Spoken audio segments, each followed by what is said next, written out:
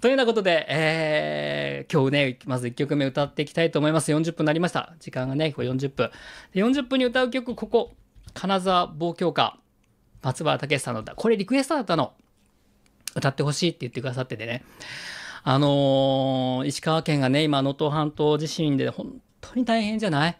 もうあのニュースとかで見てさ、まだ未だにさ、避難生活されたりとかしてて、うわーってもう胸が痛むじゃない、ほんとね。で、あの言ってくださったのはさそのコメントなんかでもその石川県の方にね元気づけるために、えー、石川県の歌歌ってほしいなって話をいただいてたんだけどなんか自分がさそういうの歌っておこがましいななんて気持ちになったりしたんだけどそれでもさなんかねそれでも歌ってほしいって言ってくれくださることって嬉しいことじゃない？だからなんか僕なんかがと思ってたんだけどまあ自分のできる限りでねちょっと一曲歌わせてもらえたらななんて思ってね、えー、そんな復興の思いも込めて一曲聴いていただきたいと思います。まずこの曲です。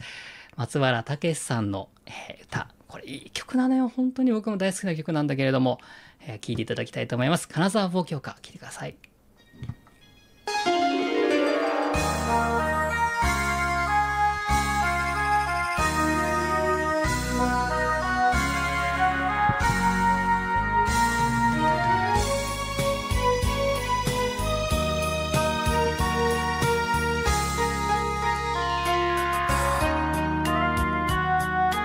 桜橋からお橋見れば川の岸辺にかげろ揺れる流れる雲よ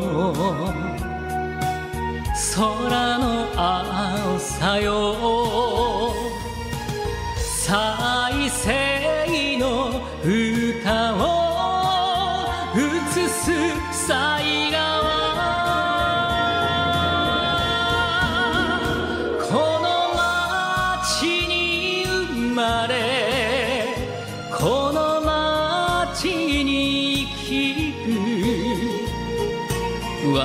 ふるさとは金沢。夢を抱く街。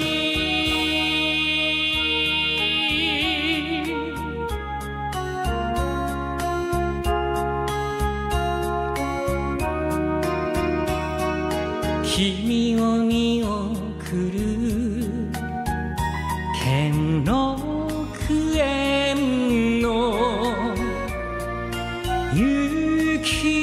しのさが心にしみる。飛びゆく鳥よ。また会う日まで。修正の思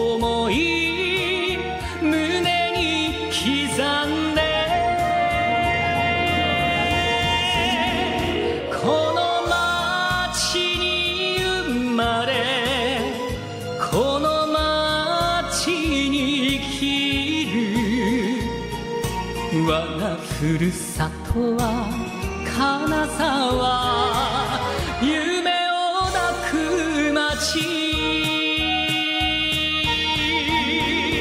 この街に生まれこの街に生きる。我がふるさとは金沢。夢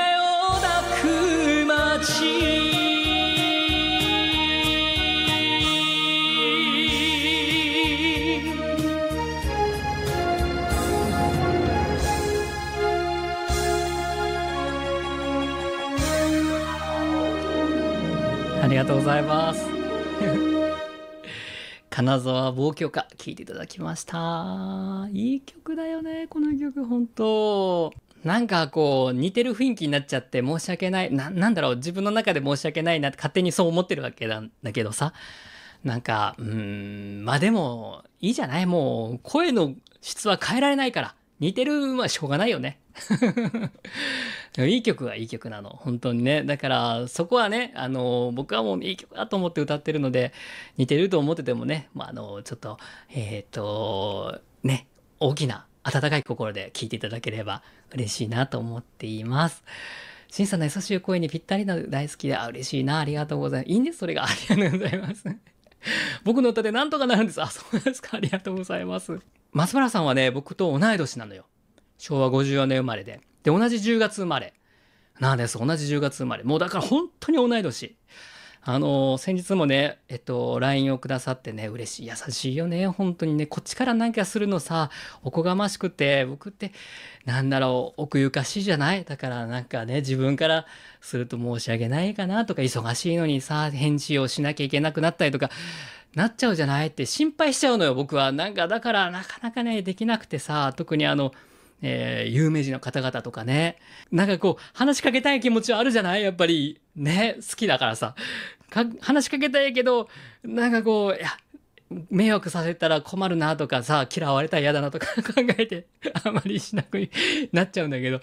でも皆さんの方からね、あの、松原さんにしても本当にね元気？とかって声かけてくださったりしていや嬉しいよねなんか恵まれてるよねや本当にありがたいなと思っておりますけれどもいい曲です。本当に松原さんのね歌。